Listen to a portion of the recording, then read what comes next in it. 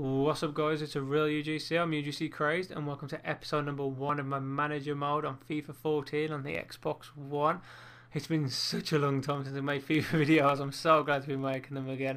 Um, as you guys know I did used to record using a HD PVR which unfortunately cannot use with the Xbox One so I've had to go out and buy myself an Elgato which to be honest I'm absolutely loving. It's a hell of a lot better than the HD PVR ever was. It records in a much better quality and the software is so much easier to use. So editing and recording footage is it just makes the whole process a lot simpler and a lot quicker.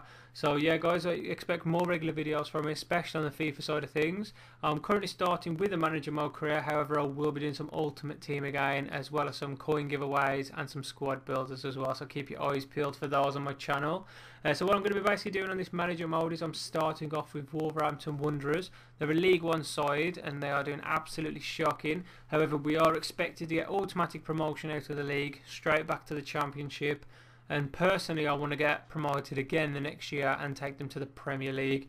That may take a lot of doing as I have decided to go on world class difficulty but we'll see how we get on. If we do struggle too much then obviously we might drop it down.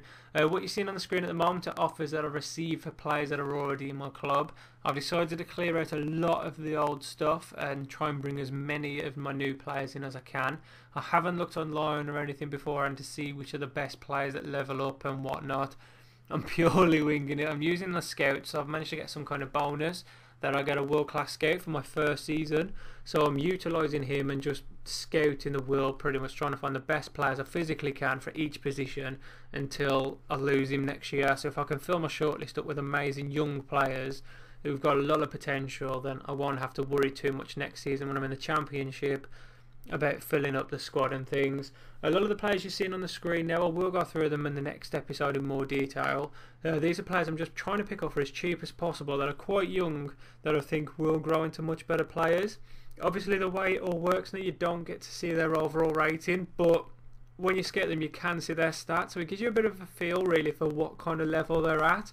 And usually, by how much their club value them at, depends, kind of gives you a, a better idea of how good they're going to be for your club. So, for instance, this guy here is out of contract. I decided to give him a blast and see how good he was, and he turned out to be absolutely awful. However, this guy who only cost 170 grand, his overall rating is really bad, but he actually plays really consistently. Uh, this guy here, I meant to pick him up for about 900 grand. He's called, I think it's Schwartz he actually is a really good player. Um, he's obviously not going to be able to stack up in the big leagues, but for a League One player, he fits into the club really nicely. And it's the same here with Falk Jensen. He's a cam.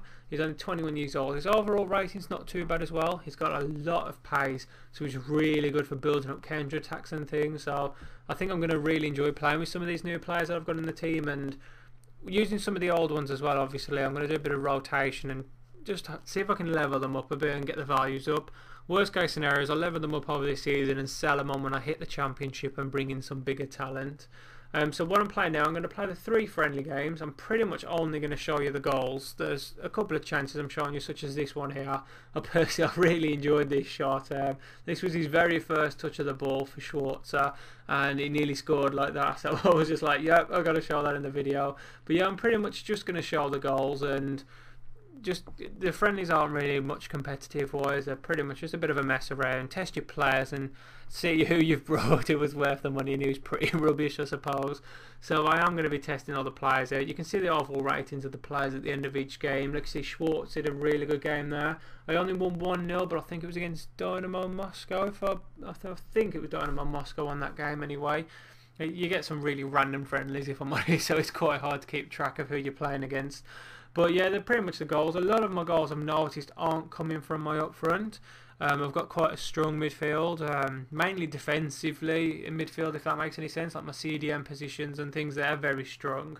Um, so up front, I may need to get another player in. I'm going to see how I get on for the first few games and see if I struggle with quantity of goals, really. I don't obviously want to be having games and I'm only winning 1-0. Um, I was going to do it on professional. I decided to go for world class at the very last second. So I really need to make sure I'm getting those goals and taking my chances. But I do manage to get three goals in this game, which is really, which you can see again, another excellent performance from Schwartz, getting an 8.2 a lot of good position, a lot of good rating, sorry, across the board for all the different positions, which is really good.